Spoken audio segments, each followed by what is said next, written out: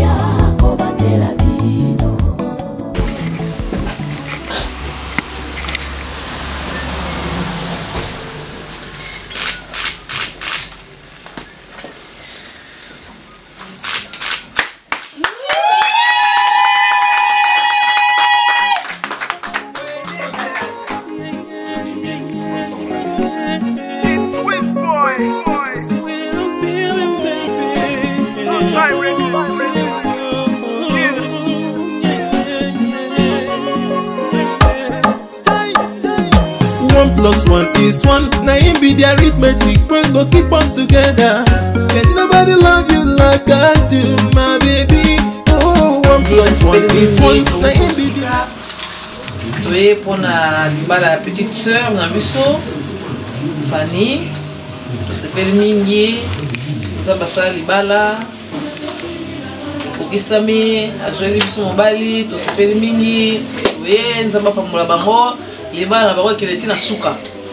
oye awa toza na esengo mingi ya koyambaka bokilo na biso makambo nyonso eleka bien en tout cas ti na suka nyonso ekokisama na nkombo na yesu esika yango na mboko ya nzambe ye akompanye biso akamba biso na libala oti na suka merci beaucoup un jour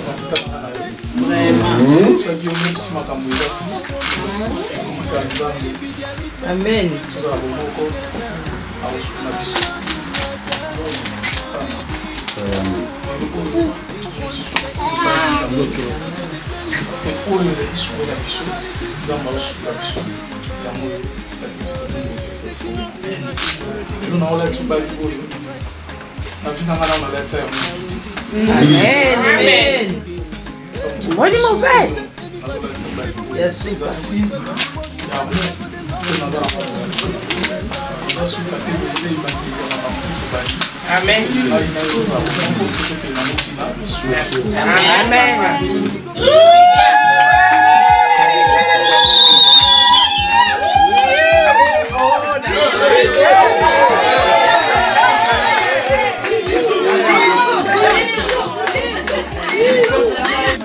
nakumisi nzambe na mokolo ya lelo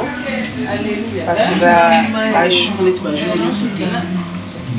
parce likambo nyonso ezalaka na ebandeli mpe ezalaka na suka suka nzambe moto asukisaka motu te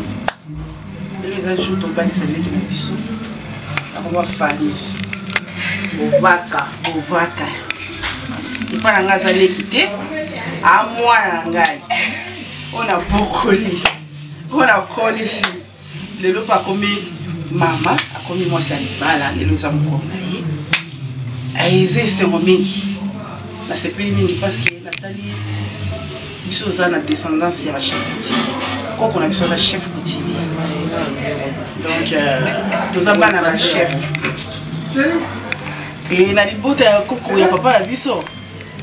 nasepeli nakosi nzambe parceke tuna aza te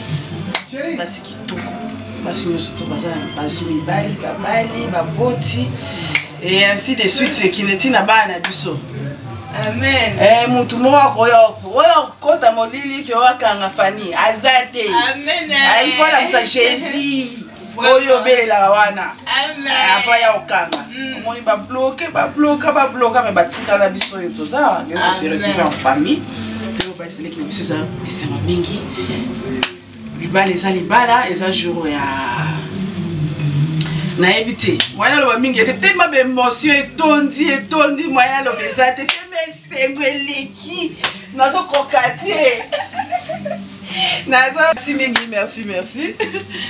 totala nde journée eleka toa deja na esengo parce que mobali aleki na biso aleki mwana leki na biso donc naobenge mwana alingi mwana na biso mingi mpe mwana na biso alingi mobali na ye mingi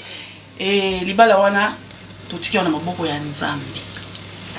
totiki yango na maboko ya baprofete te ya baparent mpe te totiki yango maboko ya nzambe asimba oyoki fani nde oyoke libala mo lelo eza ebandeli ya makambo ya vi na yo mm. donc obanda lelo ti nzambe moto akokabola yo na papa na mobali na yo mm. bovanaka libala bana ndenge boboti bobakisa misala ya mbongo ya bana batanga bana basisa classe basala mm. bazwa misala babala ainsi de suite amen donc tokende kaka liboso amen donc lito ya balabala koyoka te mm. lito ya libanda koyoka te ya kati ya te baloba tala kunseki Dalaku mamba. Peli mingi euh, lelo puisque tokutani mpona fiançaille ya Fanny. Eza esengo parce que euh, leki ayaki bon euh, souci na biso ezalaki ke akoma na etape oyo akomi abala asala vie na ye tosepeli vraiment mingi nzambe azala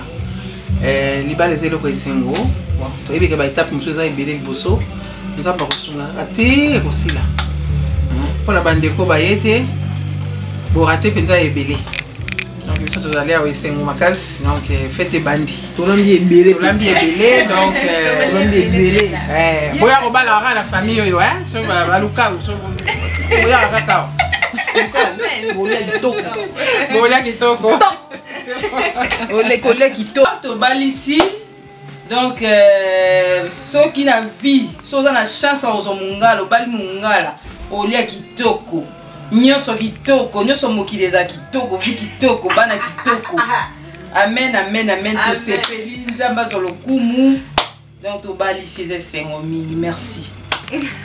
bien euh, toremercie nzambe mpo na journal lelo toza na fiançai ya ser fani na frère jansi donc toza prêt mpo tokende na invitation donc journal lelo eza vraiment journée moko esengo parce que euh, moko ya